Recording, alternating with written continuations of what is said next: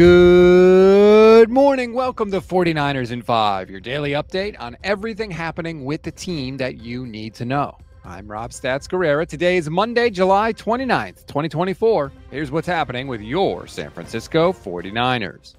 The injury bug has already struck in 2024. Spencer Burford broke his hand. He may need surgery. He's going to miss at least two to three weeks. So that obviously opens the door for Dominick Puni, third round pick. Here was Chris Foerster on Friday talking about what makes Puni special.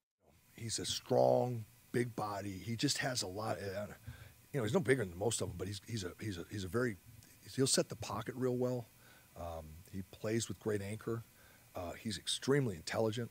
Um, he's he's really really a good player, man. He's he's a special guy, and, and he's just not done this, the position for very long. And with our system, it's a little bit of a change for him. So there's there's going to be a learning curve, but he's got some some real stuff to him. Where a lot of our guards in our system may tend to be quicker. That's where Banks is a great advantage. He is uh, those bigger guys inside do help.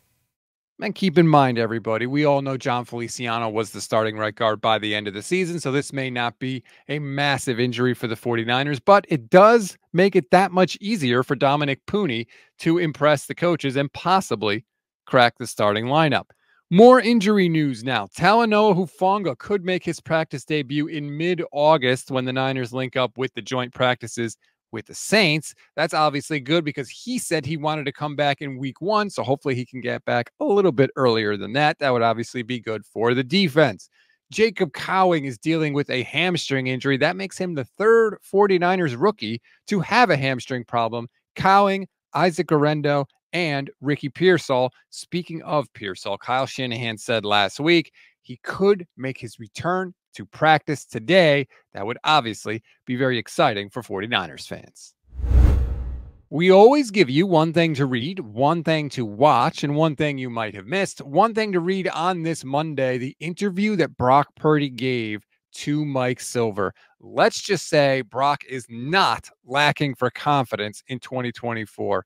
This is not, oh, shucks, Brock. This is the Brock we see on the field. I want to dominate, and I am coming at you with that expectation. I highly, highly, highly suggest you click the link in the description of this episode to read the interview.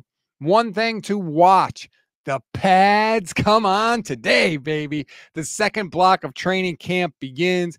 And that's when it starts to get interesting. Our own Steph Sanchez is going to be there. She will have a full practice report on YouTube after it's over to let you know everything that went on. Oh, baby, we're getting close. One thing you may have missed if you like grumpy Kyle Shanahan, guess what? You're going to be seeing him a lot this year because the NFL is instituting a rule change this season. They have a new policy. I guess it's more accurate to say policy is going into effect, and Kyle's going to hate it. All clubs are now required to make the head coach available live for an interview during the game. Each team has to provide their head coach one in the first half, one in the second half, and that's for every team, and it's available for all TV partners. I cannot think of something Kyle Shanahan would want to do less during a game than talk with the media, but he is going to have to do that this season. Have a feeling that might get a little interesting. That's a wrap on today's 49ers and 5. Please rate, review, and follow the Gold Standard Podcast Network wherever you get your audio podcasts. Also, like and subscribe to the YouTube channel. Click the bell to get notified every single time we go live, which is at least every single weekday for you. I will be live with Vish Kumar 5 p.m. Pacific time tonight. Going to talk a lot about that Brock Purdy interview. Enjoy your Monday, everybody. I'm Rob Stats Guerrera. We'll talk later today.